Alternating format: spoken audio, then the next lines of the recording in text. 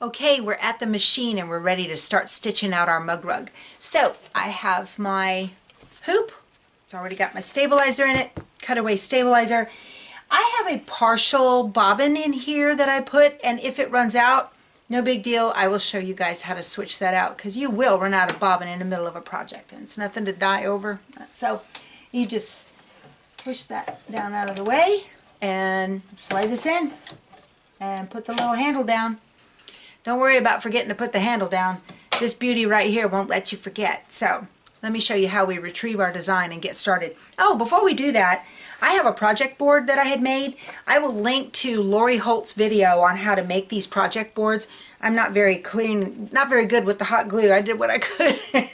but this is so handy so you can see where I have my background heart piece and I have all of my five pieces all set out of how I want them to stitch and this will be the other side of the mug rug okay so I chose a complementary uh, uh, Madeira poly uh, embroidery thread and I think it's going to look super cute. I'm really excited to get started with this. So the first thing we need to do is go to embroidery.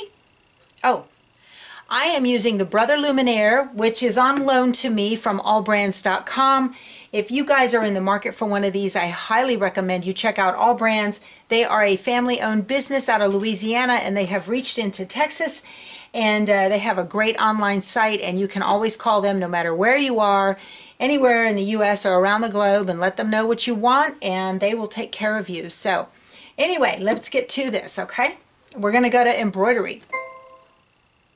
And I'm going to go to the pocket, which is the memory and it wants to know where do you want to get it from. Well, I'm going to go to this little symbol right here that looks like a bunch of radar waves because that is the, uh, that's from, if you recall, we sent the design to the machine wirelessly.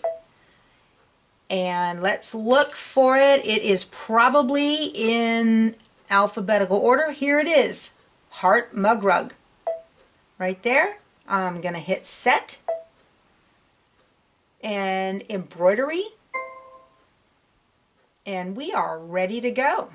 If we look at the instructions, it says place the hoop in your machine. Step one will create the placement outline for your batting directly onto your stabilizer. Okay, I'm going to put the foot down and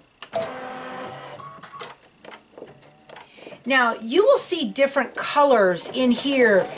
Don't worry about those so much. I think we can do all of this in one color. Uh, what these color changes are is it tells your embroidery machine to stop.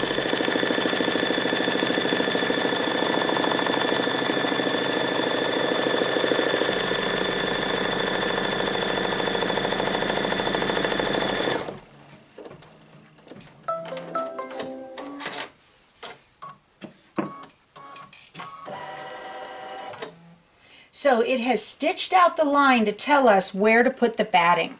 All right, I'm going to put this right here. This is warm and white. Just This is a great way to use up batting scraps too. I'm going to put my foot back down and stitch that on.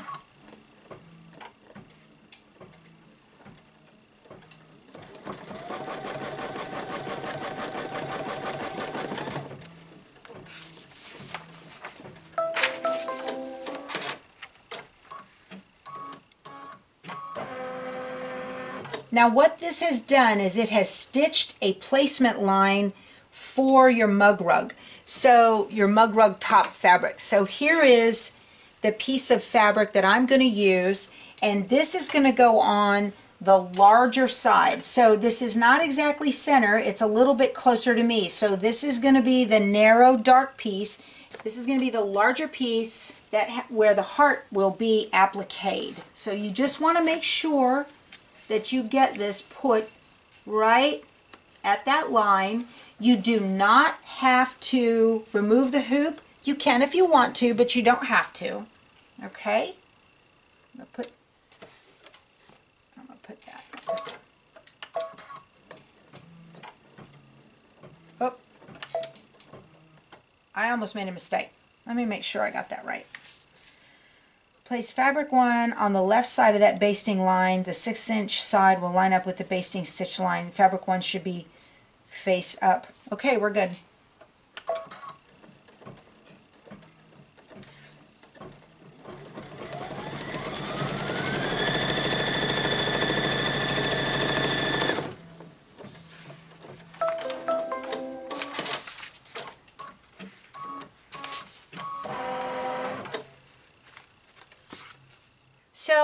Made a mistake right here. I did not look at the very next step in the instructions. So let me show you how to fix that if you do that. There is a button on here that looks like a needle with a plus or minus next to it. I'm going to hit that and I'm going to go back one step. So there's an, a down arrow to go forward and an up arrow to go backward and I'm going to do that. No big deal. Easily recoverable. Let's see. I want this to look like this, so I'm going to fold it just like that. Is that right? Yeah, that'll be pretty. Then you just stitch it again.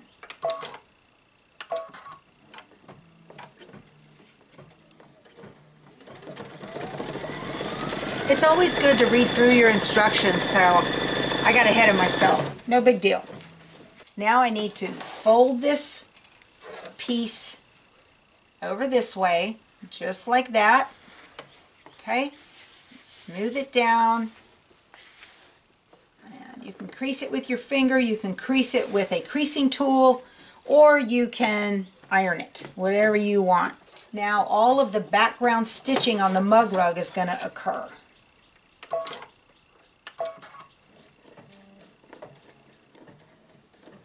Don't put your fingers in the sewing field like me.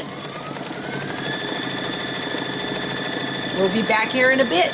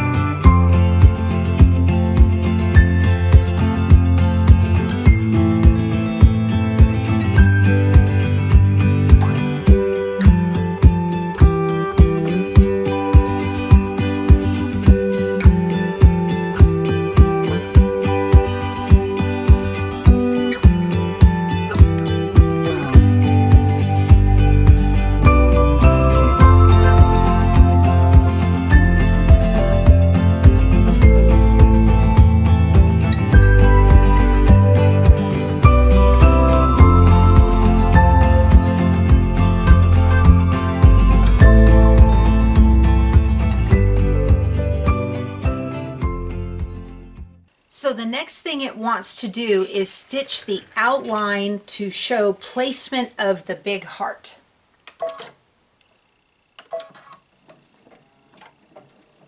Now here is where you want to be pretty careful about how you place your pieces because you want to make sure that the embroidery design satin outline stitch is going to catch everything. So I am going to put a little glue stick under here. Don't worry about this. This works just fine. You can use spray if you want. Um, not that big of a deal. But I'm just going to put that there just to make sure that it stays right where I want it. So I don't want it shifting around on me at all. I'm putting the point down and I'm just going to kind of go around. You want to make sure that you cover all of the heart's outline. Just where you cannot see it anymore, but it's not wonky at all, okay? So I think that'll be fine. Now we're ready to go back to the machine. It's to do the tack down stitch now.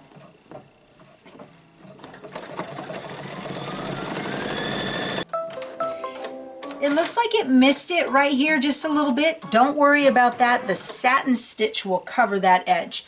Now it wants to do the placement stitch for piece number one.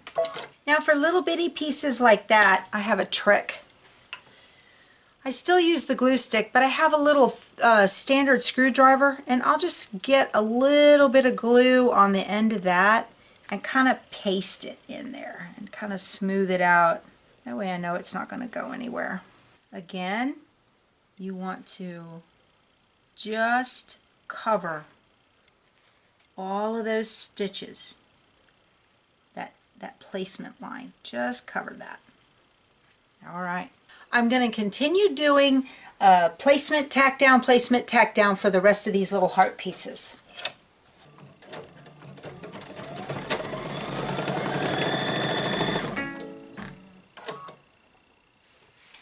Like we got a little problem with the thread.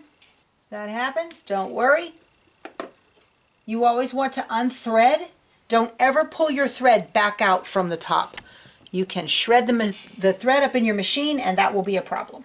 You always want to unthread it the way it was threaded. Sometimes threads have a thin spot on them and they will break. No big deal. Now, so we went about, I don't know, 30 or 40 stitches. I'm going to start again on this particular one. And how I need to do that is tell it okay. I need to rethread my needle. And then on this screen with the needle plus minus, I'm kind of still there. I'm going to back up. I'm going to use the embroidery thread. Um, I could back up 10, 20 stitches, or I could go backwards one. That is my placement stitch. That's where it wants. That's where it wants to start, right? Yeah, that's where I'm going to start.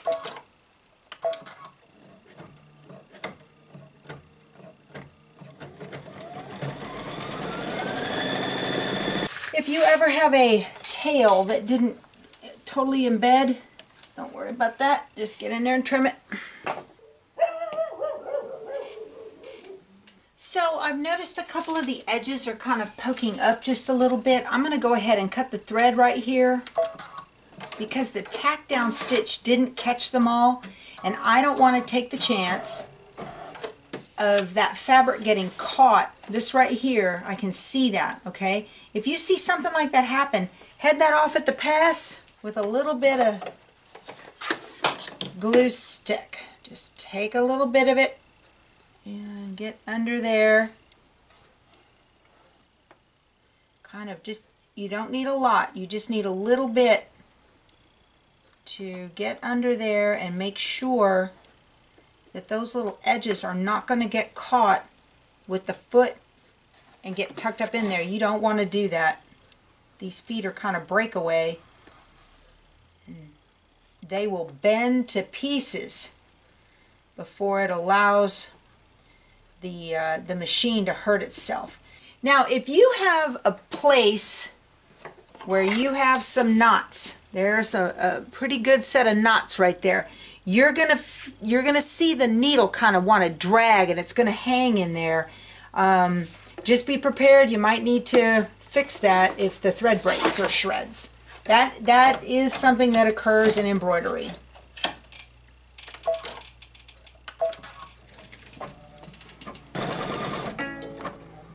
Uh, we're almost out of bobbin thread. It'll come up and give you a little sad face and tell you you're almost out of bobbin thread. Okay, so when you do that, just go ahead and cut the threads. And take the hoop out and open the little door. What I like to do is back up about five stitches. That's good.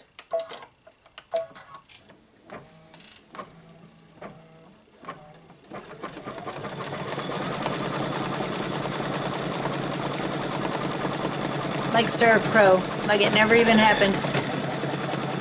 Okay guys, so we had some technical troubles with the camera. I explained that in another video that I'm doing. But I finished the mug rug, got it all done. You'd seen it before. And I went to go ahead, because I got all the way through almost to the end. So I went ahead and made another rug, mug rug. When the chip messed up on the camera, I went ahead and started filming again using the same chip Shouldn't have done that. That was a mistake. So I went ahead and finished this mug rug. So where it ended, as all you needed to do is to take your fabric that's going to be your backing and you want to put that face down on there and let it stitch around. I was that close to being finished and it's going to leave a little opening. Then you take it out of the hoop, you trim it to a quarter of an inch.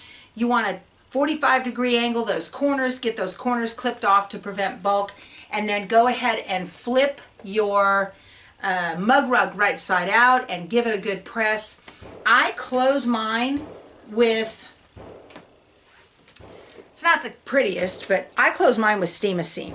Because you know me, I'm not, uh, I'm not going to hand stitch a thing, so. Anyway. All right, you guys. So I'm sorry I couldn't finish it, but you're good. You can finish it. I know you can. So just follow the instructions and you'll be fine. So if you are part of our Facebook group, please put your mug rug on the Facebook group. Uh, I'd love to see it, okay? I'll put a link to it below. I want to see your work. We'll talk to you soon. Go sew something. Bye.